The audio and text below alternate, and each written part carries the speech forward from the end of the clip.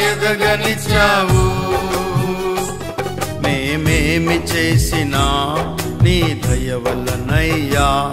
మేమెంత ఎదిగినా నీ కృపే గదయ్యా.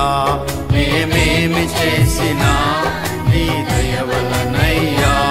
మేమెంత ఎదిగినా నీ కృపే గదయ్యా.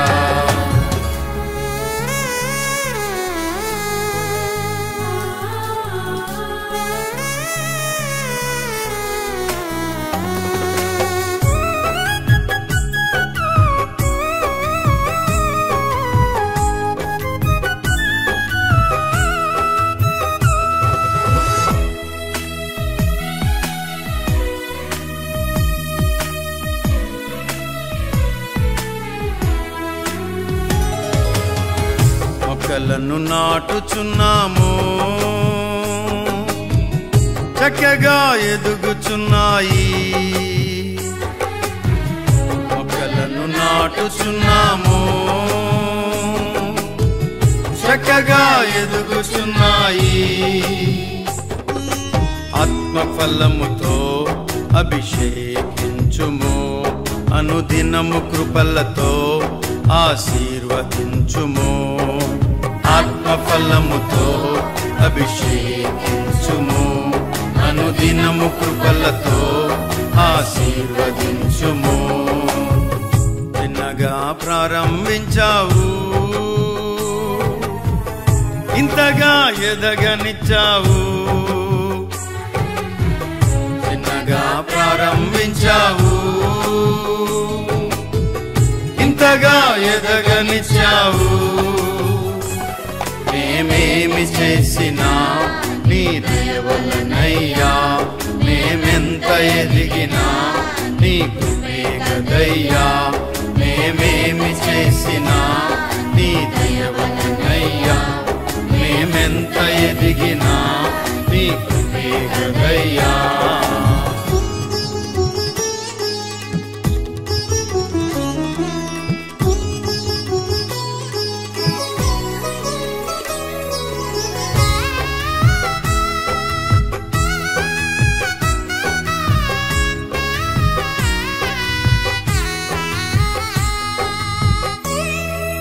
దేవుని వాక్యాన్ని కొద్ది నిమిషాలు మనం ఆలకిద్దాం.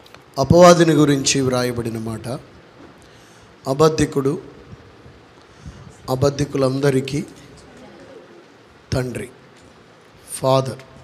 వాడు మోసగాడని కూడా బైబిల్లో వ్రాయబడింది. మోసం చేస్తాడు. హంతకుడు అని వ్రాయబడింది. అపవాది చేసే మోసం తంత్రం ఏమిటంటే ఈ జీవితాన్ని తుదకు నిష్ప్రయోజనపరుస్తాడు. చెప్పండి ఏం చేస్తాడు? అందరూ చెప్పాలి. ఇన్వాలిడ్ అయిపోయేలాగని చేస్తాడు. ఎందుకు పనికి రాకుండా? జీవితకాలం పడినటువంటి ప్రయాసమంతా కూడా వృధా అయ్యేలాగా చేస్తాడు. ఒకవేళ ఇక్కడున్న మనం ముస్లిం కుటుంబంలో పుట్టుంటే మనం ఇక్కడ ఉండేవాళ్ళం కాదేమో. జైనుల కుటుంబాల్లో పుట్టుంటే జైన సిద్ధాంతాలను పాటిస్తూ ఉండేవాళ్ళం. బౌద్ధ విధానాల్లో ఆ కుటుంబాల్లో పుట్టుంటే బౌద్ధాన్ని పాటిస్తూ ఉండేవాళ్ళం. హైందవ్యంలో ఉన్న ఫ్యామిలీస్లో జన్మించుంటే ఎక్కడో ఉండేవాళ్ళం ఇవాళ. కొన్ని నేపథ్యాలు వేరైనా కూడా కొంతమంది ప్రభువు చేత ఆకర్షించబడి రక్షించబడి ఇక్కడికి చేర్చబడ్డారు. అయితే యశు ప్రభు వారి యొక్క హృదయవాంఛ. అంటే చాలామంది కొంచెం తెలివిగల వాళ్ళమని మేము చాలా వైడ్గా ఆలోచిస్తామనుకునే వాళ్ళు యేసు ప్రభు వారిని గురించి ఏమనుకుంటున్నారంటే ఆయన కూడా మహానుభావుల్లో ఒక మహానుభావుడని. ఆయన ఒకప్పుడు జన్మించాడు జీవించాడు తర్వాత అందరి మాదిరిగా ఆయన కూడా కాలగర్భంలో కలిసిపోయాడు. ఎవరు మాత్రం ఉంటారా? ఎవ్వరూ ఉండరు. అలాగే యేసుక్రీస్తు కూడా కాలగర్భంలో కలిసిపోయాడు. మేధావులు అనబడిన వారు మహానుభావులు అనబడిన వారు గొప్పవారు అనబడిన వారు రాజులు అనబడిన వారు చక్రవర్తులు అనబడిన ఆయా రంగాల్లో గొప్ప గొప్ప వాళ్ళు ఎంతోమంది భూలోకానికి వచ్చారు కానీ వాళ్ళ పుట్టుకను గురించి ఎవ్వరూ చెప్పలేదు. వాళ్ళ పుట్టుకకు ముందే వాళ్ళ జీవితాన్ని గురించి ఎలాగ ఫలానా వ్యక్తి పుట్టి ఇలాగ జీవించబోతున్నాడని వాళ్ళ జీవితాన్ని గురించి ముందుగా ఎవ్వరూ చెప్పి ఉండలేదు. ఎవరిని గురించి కూడా. ఎవరు చెప్పలేదు ఎవరిని గురించి చెప్పలేదు. ఈ మహానుభావులు గొప్పవారని పిలిపించుకున్నటువంటి అనేకులలో వాళ్ళ మరణము గురించి వాళ్ళు పుట్టక ముందే ఎవరిని గురించి చెప్పబడలేదు. యేసు ప్రభు అందరిలాంటి మానవుడు కాదు. ఆయన దైవమానవుడు. ఆయన జన్మమునకు ముందే ఫలానా విధంగా కన్యక గర్భాన్ని జన్మిస్తాడని ప్రవక్తల ద్వారా తెలియచేయించాడు. ఆయన జన్మమునకు ముందే బెత్తలేహేము అనే ఊళ్ళో పుడతాడు అని ముందుగానే తెలియపరచబడింది ప్రవక్తల ద్వారా తెలియచేయించాడు.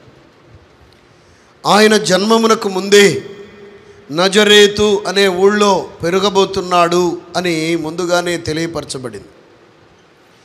ఆయన జన్మమునకు ముందే ఫలానా విధంగా ఆయన మరణించబోతున్నాడు అని ముందుగానే తెలియపరచబడింది. ఆయన జన్మమునకు ముందే ఆయన ఎలాగున హింసించబడి యజ్ఞము గావించబడి రక్తము చిందించబోతున్నాడో ఎలాగున మరణించబోతున్నాడో తెలియపరచబడింది. అదేవిధంగా ఎలాగున మరణమును గెలిచి తిరిగి లేవబోతున్నాడో కూడా ముందే ప్రవచించబడింది పుట్టక ముందే. ఇలాంటి చరిత్ర ఉన్నటువంటి ఒక వ్యక్తిని దేవుళ్ళని పిలువబడే వారిలో కానీ దేవతలని పిలువబడే వారిలో కానీ గొప్ప గొప్ప చక్రవర్తులు రాజులు మహానుభావులని పిలువబడే వారిలో కానీ సినిమా యాక్టర్లు చాలా పెద్ద ఫాలోయింగ్ ఉందండి. వీళ్ళకి మిలియన్స్ కొద్దీ సబ్స్క్రైబర్స్ ఉన్నారండి. సెలబ్రిటీస్ అని పిలువబడే వారిలో కానీ ఎవరైనా ఉన్నారా? సభాముఖంగా ప్రశ్న. మీడియాలో ఉండి వింటున్నటువంటి మిత్రులందరికీ కూడా ఇదే ప్రశ్న. ఎవరైనా ఉన్నారా? ఏమా? ఏమి లేరు? ఎంతటి నేపథ్యం ఉన్నటువంటి మరొక క్యారెక్టర్ లేదు. ఎంతటి ఘనచరిత్ర ఉన్న మరి యొక్క వ్యక్తి గతంలో లేరు ప్రస్తుతం లేరు ఇక మీదట కూడా రాబోరు. యేసుక్రీస్తు అంటే ఏదో వచ్చాడు చనిపోయాడు అనుకుంటున్నారు. కాదు కాదు సుమా ఆయన గురించి ముందే ప్రవచించబడింది తెలియజేశాడు ప్రవక్తల ద్వారా మరణించి తిరిగి లేస్తాను అని. ఆయన భూలోకంలోకి వచ్చాక కూడా నేను మరణించి మూడవ రోజు తిరిగి లేపబడబోతున్నాను. మరణమును జయించి లేస్తానని ఆయనే చెప్పారు స్వయంగా. అందుకు కాదు ఆయన సమాధి దగ్గర ఏం పెట్టారు? మిలిటరీ వాళ్ళని కాపలా పెట్టారు. పైపెచ్చు పోలీసు వారిని పెట్టారు. ఇంకా మతనాయకులు కూడా కావలి ఉన్నారు. ఏదో చిన్నప్పుడు సామెత ఉండేది కదా? తాటికాయంత తాళం వేసని. అలాగా పెద్ద పెద్ద తాళాలు వేసి బిగించారు. దేనికి? ఎక్కడైనా ప్రపంచ చరిత్రలో ఒక వ్యక్తి చనిపోయాక సమాధిలో పెట్టిన తరువాత సమాధి దగ్గర కావలి ఉన్న అనుభవం ఉన్నదా అండి? ఎవరి సమాధికి కావలి లేరు. పైపెచ్చు దానికి ఏం పుట్టించారు? నాటి పరిచయులు శాస్త్రులు ఇతను బ్రతికున్నప్పుడు తిరిగి లేస్తానని చెప్పాడు. తిరిగి లేవడం లేదు బుడిది లేదు. శిష్యులు వచ్చి దేహాన్ని పట్టుకుపోయి తిరిగి లేచాడు తిరిగి లేచాడని ప్రోపగాండ పుట్టిస్తారు లేనిపోయింది పుట్టిస్తారు కాబట్టి మేము కాపలా పెడుతున్నామన్నారు ఉటిదే వాళ్ళకి భయం ఎక్కడ తిరిగి లేస్తాడోనని. ఎందుకంటే అప్పటికి అసాధ్యాలను సుసాధ్యము చేసి చూపించాడు. చనిపోయిన యాయేరు కుమార్తెను బ్రతికించాడు. నాయననే గ్రామంలో ఆ సహోదరి యొక్క కుమార్తెను బ్రతికించాడు. చనిపోయి సమాధి చేయబడి నాలుగు రోజులయ్యింది. దేహం కూడా కుళ్ళు పట్టిపోయిన పరిస్థితుల్లో ఉండగా అక్కడికి వెళ్ళి లాజరు బయటకు రమ్మని పిలిస్తే చచ్చి కుళ్ళిపోతున్న మృతదేహం సస్యరీరునిగా లాజరు బయటకు వచ్చేసాడు ప్రాణాలతో చప్పట్లు కొడుతూ స్తోత్రం చెల్లిద్దాం. పుట్టిగుడ్డి వాళ్ళకు కళ్ళిచ్చాడు మోగవారికి నోరిచ్చాడు తుఫానును గద్దించాడు సముద్రమును ఆజ్ఞాపించాడు. ఆయన చేసినటువంటి కార్యక్రమాలు ఈ భూమండల చరిత్రలో ఆయనకు ముందు ఆయన తరువాత మరి ఇంకెవరూ చేయలేదు చేయబోరు. ఆయన తన ముప్పై మూడున్నర ఏట తాను చెప్పిన విధముగానే మనుష్యులందరి పాపములను తన మీద వేసుకొని దేవగొర్రె పిల్లగా సిలువ అనే బలిపీఠం మీద ఆయన బలి వస్తువుగా బలి అర్పించబడ్డారు. రక్తమంతటిని చిందించారు. ప్రాణమును ధారపోశారు. ఓ ఆఖరు రక్తపు బొట్టు వరకు రక్తమును చిందించి ధారపోసి ఆయన ప్రాణమును పెట్టారు. అయిపోయింది అయిపోయింది. అయిపోయింది ఇంకేముంది? అయిపోయింది. అందరూ చచ్చిపోయారు ఈయన చచ్చిపోయారు. అద్భుతాలు అన్నాడు నీళ్ళ మీద నడిచానన్నాడు. మృతులను సజీవులనుగా బ్రతికించానన్నాడు. కథ ముగిసింది అనుకున్నారు. లేచినాడురా సమాధిని గెలచినాడురా యేసు లేచినాడురా సమాధిని గెలచినాడురా. లేచాడు. మరణ శరీరం కాస్త మహిమ శరీరముగా మృతులలో నుండి పునరుద్ధానునిగా ప్రథమ ఫలముగా యేసు క్రీస్తు మరణ శరీరము కాస్త మహిమ శరీరముగా సమాధిలో నుండి బయటకు వచ్చింది హల్లెలుయా. చావునే చంపాడు. మరణానికి మరణము కలుగజేశాడు. సమాధిని ఓడించాడు. ముద్రను ఓడించాడు. ఇదిగో సమాధి రాయి ఓడిపోయింది. చావు ఆయన ముందు ఓడిపోయింది. ప్రపంచాన్ని గజగజలాడించిన చక్రవర్తులు రాజులు వీరులనబడిన వాళ్ళు మృత్యువు చేతిలో ఓడించబడిపోయారు. హీరో అనే మాటకు అర్థం ఏమిటంటే సకలమును సమస్తాన్ని జయించినవాడు అని అర్థం. అరిషడ్వర్గాలను జయించాలి. కామ క్రోధ లోభ మోహమదమాశ్చర్యములను జయించాలి. ఐహిక విచారములను జయించాలి. శరీరాశ నేత్రాశ జీవపుడంబమును జయించాలి. ధనమోసమును జయించాలి. వీటన్నిటిని ఓ ప్రక్కకు నెడితే మరణమును జయించాలి. ఈ మరణమును సహితము జయించిన వారిని మాత్రమే చెప్పండి. ఏమని పిలవాలి? హీరో. హీరో అనే మాటకు అర్థం తెలిస్తేగా ఎవరిని హీరో అని పిలవాలో అర్థమయ్యేది? హీరో అని ఎవరిని పిలవాలి అంటే సమస్తాన్ని సకలమును జయించిన వారినే పిలవాలి. హీరో అని మానవాళి చేత భూప్రపంచమంతటిలో పిలువబడడానికి ఏకైక అర్హుడు ప్రభు యేసు క్రీస్తు ఒక్కరే. బిగ్గరగా స్తోత్రం చెప్దాం. మరి ఇంకెవరు పిలువబడడానికి వీలు లేదు. అరిషడ్ వర్గాల చేతిలో ఓడిపోయిన వారు హీరోలు కారు. ఎందుకు ఈ విషయాలన్నీ నేను మీతో మాట్లాడుతున్నానంటే ఏసయ్య కాలగర్భంలో కలిసిపోయిన వాడు కాదు. కొందరు చరిత్ర ప్రారంభిస్తారు సృష్టిస్తారు ముగిస్తారు అంతటితో అయిపోతుంది. కానీ యేసు క్రీస్తు వారి యొక్క ప్రాధాన్యత ప్రాముఖ్యత విశేషత ఏమిటంటే యేసయ్య చరిత్ర కొనసాగుచున్న చరిత్ర. ఇట్స్ కంటిన్యూయింగ్ ప్రాసెస్ ఎందుకని? చచ్చిపోయి కాలగర్భంలో కలిసిపోయి ఉంటే చరిత్ర అంతటితో ఏమోలండి అద్భుతాలు చేశాడు ఆశ్చర్యాలు చేశాడు. నీళ్ళ మీద నడిచాడు సముద్రాన్ని తుఫానును గద్దించాడు. పుట్టిగుడ్డి వాళ్ళ కళ్ళిచ్చాడు మహానుభావుడు ఎన్నెన్ని కార్యాలు చేశాడు? గొప్పోడేలే కానీ పాపం కాలగర్భంలో కలిసిపోయాడు అంతటితో ఫుల్ స్టాప్ ముగించబడింది. అవునా? అందరి గురించి అంతే. కానీ ఇక్కడ ఒక ఆయన ఉన్నాడు. అడవి వృక్షములలో జల్దరి వృక్షం ఎట్లున్నదో. జల్దరి వృక్షం అంటే యాపిల్ ట్రీ. యాపిల్ చెట్టు అన్నమాట. అడవిలో పెద్ద పెద్ద చెట్లు చాలా ఉన్నాయి. బా చాలా పెద్దగా ఉంది. కానీ ఈ అడవి పెద్ద పెద్ద వృక్షములన్నిటికంటే మరొక పెద్ద వృక్షం ఉన్నది. అది జల్దరు వృక్షము. నా ప్రియుడు అట్లున్నాడు అంటుంది శూలం ఇది.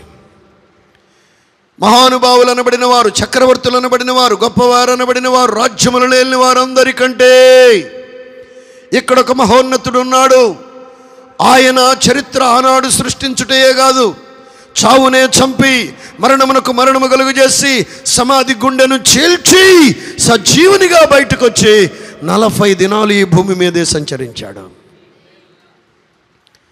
ప్రజలనేకులు చూస్తూ ఉండగా ఒలీవల కొండ యుద్ధ నుండి విమానం లేదు హెలికాప్టర్ లేదు రాకెట్ లేదు ఎలాంటి పారాచూట్ లేదు. మహిమదేహం తలోగున పరలోకానికి ఎగిరి వెళ్ళిపోయారు. ఒక్కడే ఏమనని మాయమైపోయాడు అనుకోవడానికి లేదు. దరిదాపుగా ఐదు వందల మంది ప్రజలు ఐ విట్నెస్ అక్కడ. వాళ్ళు అలా చూస్తూ ఉన్నారు. చూస్తూ ఉండగా ఆయన అలా వెళ్ళిపోయాడు. ఇప్పుడు పరలోకమందు ఉన్నారు ఆయన. సజీవునిగా ఉన్నారు. భూమి మీద నుండి ఆయనను వేడుకునే ప్రతి ఒక్కరి ప్రార్థనలు ఆయన వింటూనే ఉన్నాడు. అందరూ చెప్పండి ఏసు సజీవుడు. లైవ్లో ఉన్న మీరు కూడా ప్రేక్షకులు కాదు సుమా. మీరు కూడా చెప్పండి ఏసు సజీవుడు. ఆయన సజీవుడు కనుక ఆయన చరిత్ర కొనసాగుతూనే ఉన్నది కొనసాగుతూనే ఉన్నది. కొనసాగుచున్న చరిత్ర ఏసయ్యది. ఇప్పుడు మన ప్రార్థనలు వింటున్నారు. ఇప్పుడు మనకు ఆయన కృపను పంపిస్తున్నారు. ఇప్పుడు ఈరోజు మన కొరకు కార్యములు చేయడానికి ఆయన సిద్ధముగా ఉన్నారు. ఎందరో వచ్చారు కాలగర్భంలో కలిసిపోయారు. మృత్యువు వడిలో చిక్కుకుపోయారు. కానీ యేసును ఈ మహావీరుని చేతిలో చావు చావు దెబ్బతినడం కాదు చావు చచ్చిపోయింది. చప్పట్లు కొడుతూ దేవునికి స్తోత్రం చెప్పండి. హలలుయా ఎందెందు వెతికినా ఏ లోకాన్ని వెతికినా బోతద్దం పెట్టుకుని ఇలాంటి మహోన్నతుడు నీకు కానరాడు. అందుకు ఆయన పాదముల యొద్ద కూర్చుండి we're praising him we're magnify him we're glorifying him ఆయనను ఘనపరుస్తూ ఉన్నాం మహిమపరుస్తూ ఉన్నాం. దేవునికి స్తోత్రము కలుగునుగాక. He himself he's talking to us ఆయనే సాక్షాత్తు స్వయంగా మనతో మాట్లాడుచున్న శుభగడియలే దేవుని వాక్యం వినుట అంటే. అంతేగాని ఇదేదో ఉపన్యాసం కాదండి. ప్రభు మనతో మాట్లాడుతున్నారు దేవుని యొక్క వాక్యములో నుండి కొన్ని విషయాలు మనం అధ్యయనం చేద్దాం. ప్రభు ఏం చెప్తున్నారు? మతైసు వార్త ఇరవై మూడవ అధ్యాయము పదివ వాక్యం. యేసు క్రీస్తు ప్రభు అనే గురువు పాదముల యుద్ధ మనం కూర్చున్నాం. మనం నేర్చుకున్న బద్దులమై ఉన్నాం. ఇలా ప్రభువుని వేడుకోవాలి. ఏమని వేడుకోవాలి? నేర్చుకొనుటకు నీ యొద్ద ఎసయ్యా ఆయనే మన క్లాస్మేట్ కాదుగా. యేసు అని పిలవడానికి. కూర్చుండి విందుమయ్యా నేర్చుకొనుటకు నీ యొద్ద ఎసయ్యా కూర్చుండి విందుమయ్యా నేర్పించు ఎసయ్యా నేర్పించు యేసయ్యా మా మంచి బోధకుడా నేర్పించు. యేసయ్యా నేర్పించు. యేసయ్యా నేర్చుకొనుటకు నీ వద్ద యేసయ్యా కూర్చుండి. విందుమయ్యా. హలేలుయా యేసుక్రీస్తును పరమ గురువు గురువులకే గురువు ఇలాంటి గురువు. ఇంకా ఏ లోకాన కానీ ఈ లోకాన మరి ఇంకెక్కడా కూడా అగుపించడు అగుపించడు కనిపించడు. అలాంటి మహోన్నతమైన గురువు పాదముల చెంత కూర్చుండగా ప్రభు ఈ గడియలో మనకు నేర్పిస్తున్న పాఠం. ఇంగ్లీష్లో రాసుకోండి కాన్సెప్ట్ని. తరువాత తెలుగులో దాన్ని వ్రాసుకునే ప్రయత్నం చేద్దాం. Spending time with the Lord spending time with the Lord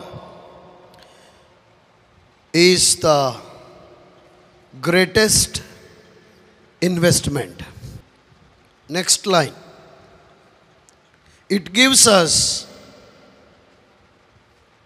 the heavenly property మన సమయమును దేవునితో గడుపుట దేవునితో గడుపుట. అనునది సర్వోన్నతమైన పెట్టుబడి. దీని వలన పరలోకపు ఆస్తి పరలోకపు ఆస్తిని కూడబెట్టుకొనగలము. బ్రాకెట్లో సంపాదించుకొనగలము. ఈరోజు పాఠం యొక్క థీమ్. దానికి కొంత బేస్మెంట్గా కొన్ని విషయాలు మనం చూద్దాం. కొరింతీలకు రాసిన రెండవ పత్రిక నాలుగవ అధ్యాయము పద్దెనిమిదవ వాక్యంలో మూడవ లైన్ దృశ్యమైనవి అనిత్యములు అదృశ్యమైనవి మాత్రమే నిత్యములు. తిమోతికి పౌలు గారు రాసిన మొదటి పత్రిక ఆరవ అధ్యాయము ఏడు ఎనిమిది వాక్యాలు. చదవండి. మనము ఈ లోకములోనికి ఏమీయూ తేలేదు. దీనిలో నుండి ఏమీయూ తీసుకొని పోలేము. చాలు. మనం ఏమీ తేలేదు. ఫలాంది నాదే. ఇది మాదే. అసలు ఇది మాది. ఇదే కదా మన వాదన. ప్రభు అంటున్నారు మనం ఈ లోకంలోనికి ఏమీ తేలేదు. కాబట్టి ఇక్కడ ఉన్నది ఏది? మనది కాదు. అది మనమే అనుకుంటున్నామా? దేవుడు ఏమైనా అంటున్నాడా? చూడండి కీర్తనల గ్రంథము ఇరవై నాలుగవ కీర్తన మొదటి మాట. భూమియు దానిలో ఉన్నవన్నీ ఇక్కడున్న మనుష్యులందరూ కూడా యహోవాకు చెందిన వారే ఈ ఆస్తి అంతటికి వానర్ గారు యజమానుడు బాస్ ఎవరయ్యా అంటే యహోవాయే. స్తోత్రం చెప్పొద్దా? కాబట్టి ఇది నాదే ఇది మాదే ఇది అసలు మాదే అనుకోవడానికి ప్రభు అంటున్నారు నువ్వు నా నాన్న వస్తూ వస్తే ఏమియు? ఒకరోజు వెళ్ళిపోవాలి ఇక్కడ నుండి వెళుతూ వెళుతూ కూడా ఏమియు? కాబట్టి ఇది ఇక్కడది ఏది నీది కాదు. దృశ్యమైనవి అనిత్యములు అంటే కంటికి కనబడేవి కొద్ది కాలమే ఉండి తరువాత కనుమరుగైపోతాయి. అదృశ్యమైనవి మాత్రమే నిత్యములు. ఈ కంటికి కనబడని ఆస్తి ఏదైతే ఉందో అదే అసలు సిసలైన ఆస్తి నిలువబడే ఆస్తి చిరకాలం ఉండే ఆస్తి స్థిరముగా ఉండే ఆస్తి ఈ జ్ఞానం నేర్చుకొని ప్రభువు మాట్లాడుతూ ఉన్నారు. హలెలూయా అసలు ఏం మాట్లాడుతున్నారండి? ప్రభు ఏం మాట్లాడుతున్నారండి? గురువుగారు ఏం చెప్తున్నారండి అంటే చాలా సింపుల్గా చాలా సూటిగా ఒక మాట. బిడా ఇక్కడికి వస్తూ వస్తూ ఏమీ తేలేదు. నాది నాది అనుకున్నది ఏది నీది కాదు అవన్నీ నావి. అర్థమవుతుందమ్మా? దేవుడు అంటున్నమాట అవన్నీ నావే నీవి కాదు. నేను నీకు ఇచ్చా వాడుకోమని. వాడుకొని నేను భూమి మీదకి నిన్ను ఎందుకు పంపాను? ఆయన కోసం వినియోగించబడతావని. ప్రసంగి గ్రంథం ఒకటవ అధ్యాయం రెండవ వాక్యం. మహాజ్ఞాని అయిన సాల్మన్ ఆయన ఈ భూప్రపంచాన్ని అనుభవించినంతగా మరింకెవరు అనుభవించలేదు. ఈ లోకంలో ఉన్న వాటన్నిటినీ రుచి చూచినటువంటి వ్యక్తి ప్రపంచ ధనికుడు అతనే. ప్రపంచ మేధావి అతను అతనికి మించిన జ్ఞాని లేడు. ప్రపంచ ధనికుడు అతనే ప్రపంచ మేధావి అతనే. అతడు ఈ లోకములో ఉన్న అభిరుచులన్నిటినీ రుచించాడు. తుదకు ఒక స్టేట్మెంట్ ఇస్తున్నాడు. ఏమంటున్నాడు?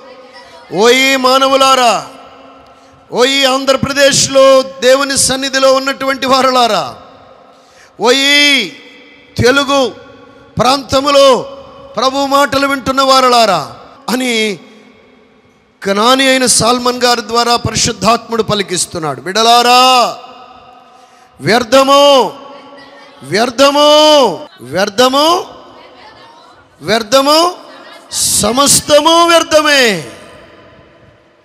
వింటున్నారండి? అంతా వ్యర్థమేనట.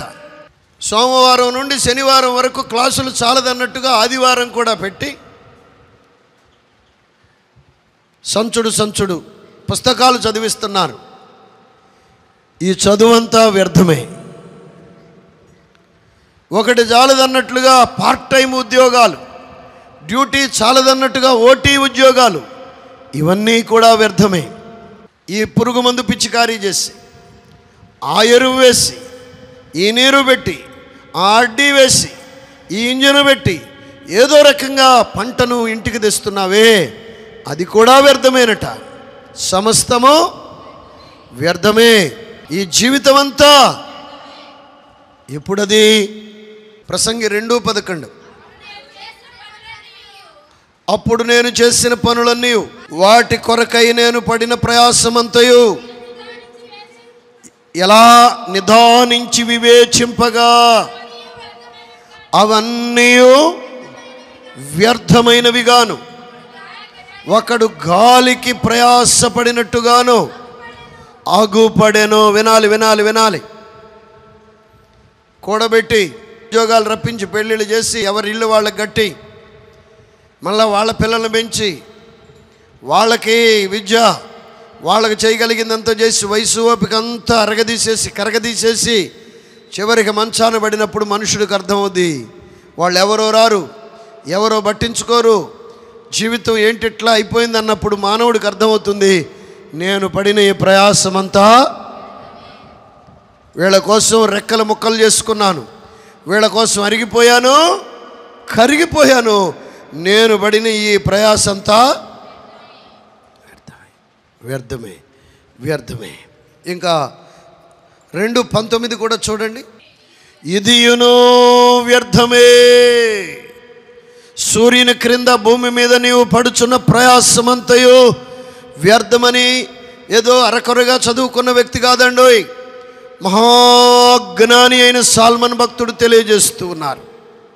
పన్నెండవ అధ్యాయం ఎనిమిదో వాక్యం సమస్తము వ్యర్థమని ప్రసంగి చెప్పుచున్నాడు. దేవునికి స్తోత్రము కలుగునుగాక సమస్తము వ్యర్థమే వ్యర్థమే వ్యర్థమే. అంటే ఏంటి? రెక్కల ముక్కలు చేసుకుని అరిగిపోయి కరిగిపోయి నువ్వు చేసిందంతా ఇరవై ఏళ్ళు ముప్పై ఏళ్ళు నలభై ఏళ్ళు యాభై ఏళ్ళు అరిగిపోయావు. మోకాళ్ళు అరిగిపోయినాయి గూళ్ళు అరిగిపోయినాయి వెన్నుపోసు అరిగిపోయింది. అయ్యా వెన్నుపూస అరిగిపోయిందంట కొంతమంది. అయ్యా నా గూళ్ళు అరిగిపోయినాయి అంటయ్యా ఈ మందను మేపానయ్యా ఇడ్లీల మీద ఇడ్లీలు వేసి ఇప్పుడు ఒక్కడంటూ ఒక్కడ కూడా. ఈ తల్లి ఏం చేసిందంట? ఇప్పుడంటే వచ్చినాయిలేండి మిక్సీలు. రుబ్బి రుబ్బి రుబ్బి ఏమైపోయినాయి? గూళ్ళే అరిగిపోయినాయి.